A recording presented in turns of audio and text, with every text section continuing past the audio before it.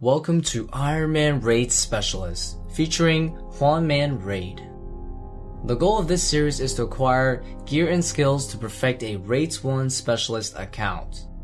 Every 75 raids I can go for one of 19 upgrades necessary to build this account, ending at 1500 soul raids. Please enjoy episode 23. Wait, he went from... Oh shit, a purple. What the f- Yo! Okay. Last item was what? Last item was Twisted Buckler, right? So, uh, yeah, we've been getting a lot of dupes. Let's see if we can break that and get something. oh, another dupe, guys. Another dupe. It's dupe central, man. I'm gonna just use the restores and try to spam it and see what I can do. Uh, alright, we're almost there though. I think we can do this. I think we did it. Did we do it? Yes. Okay. I mean, we could still do it, I guess. But that used a lot of supplies. Come on, don't you dare splash on me, please. Oh my god. Yikes, dude. Are you serious? Oh no.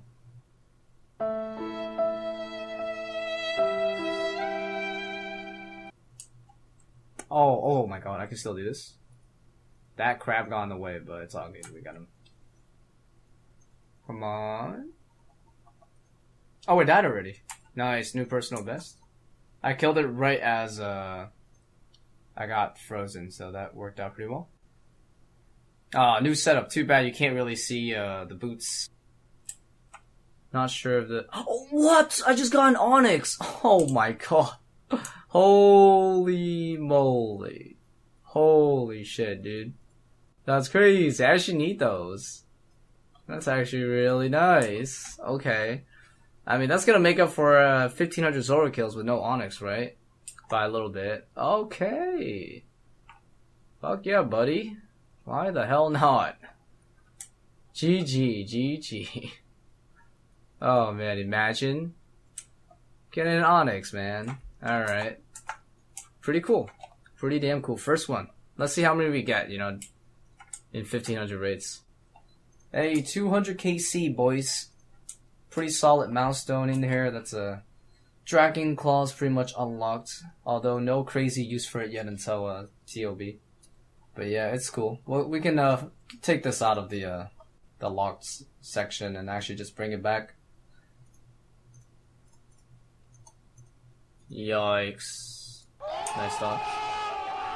Here is an agility level of 75. We are getting a lot more while we do raids.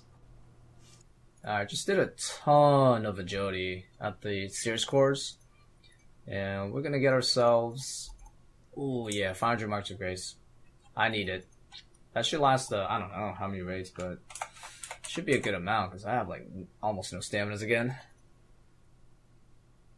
Oh, actually, I made it. 84 uh, Herba. What is that? Anti upgraded anti fire potion. What is that? Extended anti fire potions. Oh, that's actually really good. All right, this one is a pretty monumental level, guys. 74. Knocking place magic birdhouse. Awesome. So I was getting on average anywhere from like six to eight birdhouses a run with yew. So I wonder how much better the magic one is. I'm gonna go and do a bunch of runs before, you know, I say anything, just for a decent sample size, but... Oh, nice, I got him stuck. Holy shit, he's just gonna stay there the whole time? I'm gonna just do this so he doesn't randomly get unaggroed. Oh, oh my god, damn it, man. That's so dumb. Damn it, dude. Literally, I died because I can drink my extra stamina dose. Woof. I did it. The redemption saved No! Oh no, I can't believe it. I can't believe that shit. I got a purple for dying. Oh no. That's not good. That's not cool, man. I can't believe that should happen. Come on. Undeserved, you know, undeserved. But it's okay. This this is actually worse than a suicide rating points, so because I died at the very end. Here we go, boys. Haha. uh, arcane prayer scroll. Let's get it. More arcane prayer scrolls. NANI? Oh my god. Jesus Christ. All three of them? That was a fast lore. Thanks. Got him. It's a good raid, I guess. The Vespula star was really yikes, though.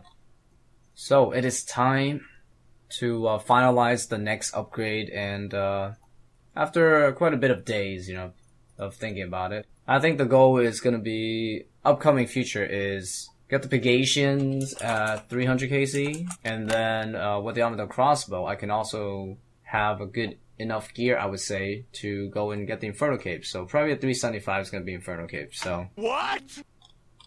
Alright, before I can actually start doing Saradomin, I want to get two things done. Unlock Bones to Peaches, and also do Wildy Hard Diary so I can spend more efficient time getting Ecumenical Keys. So the Bones to Peaches is going to take a little bit. Alright, we are just uh, basically done with Telekinetic. Only took about, not even gonna lie, like an hour or so to get 200 points. So, alright, that should be enough, right? Let me see. Is that gonna give me 300? Yes, 300. We're done with that. With the help of RuneLite, this took less than two hours, so that's actually really good. Okay, on to the last two. Uh, super easy ones. Save the easy ones for last. I just hit 96 magic. Hell yeah. Oh, yes, 96. Nice. Unlock a new uh, max hit with the Trident. That's actually really good then. Really nice level. Alright, that was uh, not too bad. Honestly, took like maybe four hours for all of it. Okay, buy Bones to Peaches, please. Yes. Got it. The uh, biggest prep done for Sarah. All that's left is a diary or two, and that's it. Uh, it's basically the same as groups, bro. Oh, no, what the fuck? Man, I'm so dead. Oh my god, that was so fucking unlucky, dude. Actually, I think I could PB in this raid. It's, uh, should be possible. I'm already at the last room. I had, uh, Tekton, Vasa, right? Crabs, a jury room, and mining room, and that's it. And I do have the supplies to do it. That wasn't a PB, but... Ooh, 76 agility. Oh, whoa, I can use the Zora shortcut, dude. A level already, guys. At the start of the day, 77. Oh, 250 staminas, boys. All that fucking agility. Oh, this is gonna be so nice.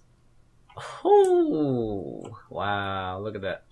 Damn. Wanna see what I got? 356 stamina four doses. Yeah, I'm super ready for Sarah though. Super ready. So the Wildy diaries are annoying because I have to kill certain bosses and I have to make sure I do that task completely before any other task or else it won't count.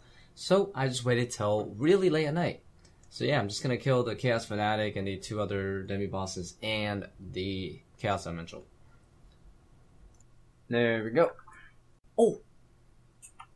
Oh my god, that, that is so good. I'm so glad I got this muddy key from uh, the archaeologist because there's actually a diary requirement that I actually do need to open the money chest in Lava Maze. Otherwise, I would have had to go kill some Chaos Dwarves, and you know, that might take a while, so that's awesome. Oh my god, just die already, Scorpia. Goodness. The most annoying of the three bosses. I should keep that on, huh? Alright, well, we got that out of the way. Now, just to finish off the most troll thing ever, that is Chaos Elemental. Oh man, I forgot I had Auto Valve Smasher, so it kept me with one inventory space. But I complete all the hard diary stuff now. Um, there's a few things I have to do. I have to do between a rock quest because one of them is to make a golden helmet, so I'm gonna finish that at some point.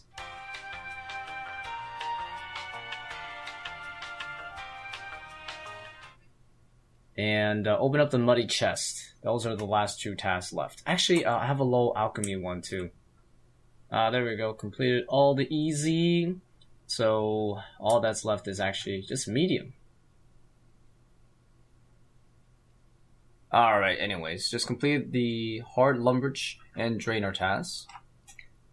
So now I can get my upgraded uh, Lumbridge ring. So that's gonna be really nice. Alright, I decided to just get this diary out of the way too, because I was already almost done, and the ring is nice because of that passive extra run. I'm gonna use that to prolong my Sarah trip. Also, I can use the ring to out some rune swords or runekite shields that I'll get. The achievement diary rewards, you can just get as many as you want, and dropping them, there's really no consequence. So yeah, I'm just gonna get a bunch because to free up some inventory space during the Sarah trip, I'll drop the ring when I don't need it anymore. Alright, take number three.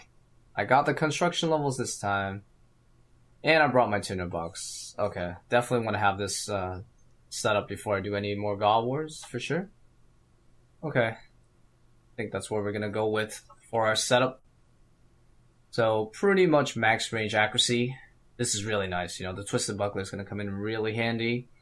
Um, I'm gonna bring a helmet switch just because I don't want to wear the Serp helmet the whole time. That's gonna cost me quite a bit of skill. So I'm gonna just put this on right at the beginning to poison the minions with the blowpipe guarantee.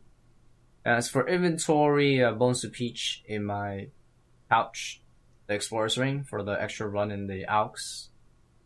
EQ key, some range pots. Uh, all the potions are subject to change. You know, I'm gonna adjust accordingly based on the first few trips. But yeah, a few brews, few restores, some prayer. It's all amount of staminas. Hopefully that'll kill it now. Yeah, first trip was rough as fuck, but we should be good now. Oh my god, that's a terrible way to start Saradomin. Really? A shield left half? 56.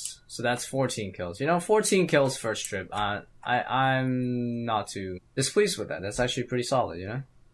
So for those of you guys that watched you learned some tips and tricks, let me show you my way of uh, blow piping the minions at the start so I can poison them. I stand in this area and then I hit the ranger first and then attack the melee guy and then I try to create a little bit of space for attack the major, so that way Saradomin doesn't like freaking smack me in the face with her sword. You know, it's a big ass sword.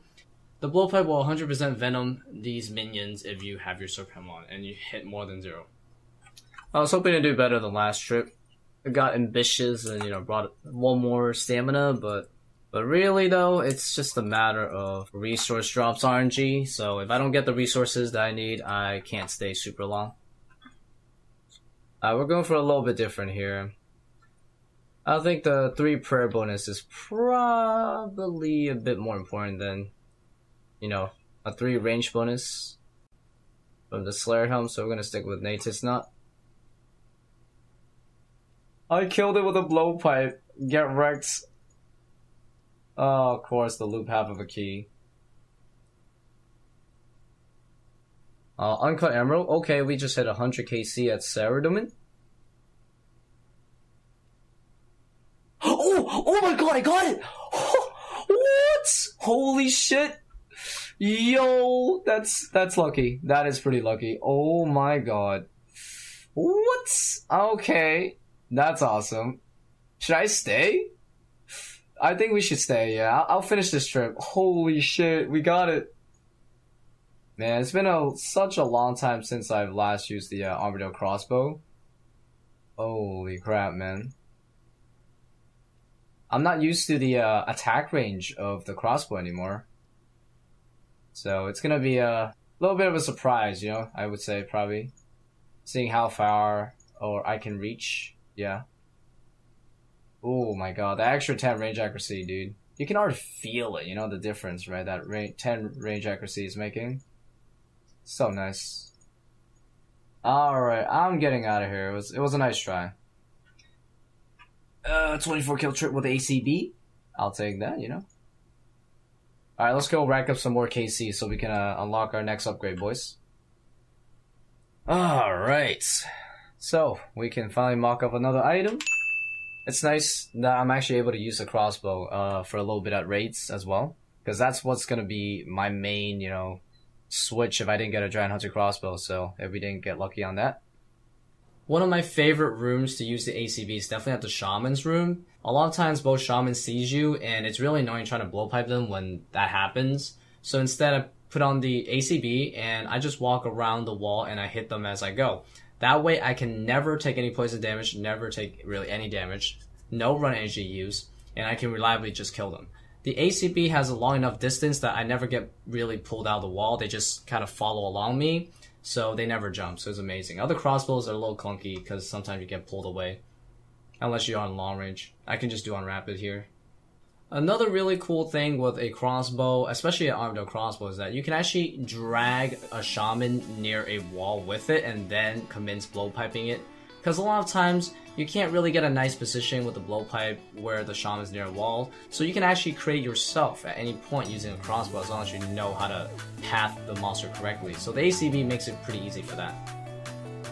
Starting from this episode forward, I will be preparing for the Inferno Cape. I guess this will be the uh, Inferno Cape chapters of this series. So it's time to grind out those race KCs and start preparing for it. So, so this is going to be a wild chapter to the Iron Man Raid Specialist series.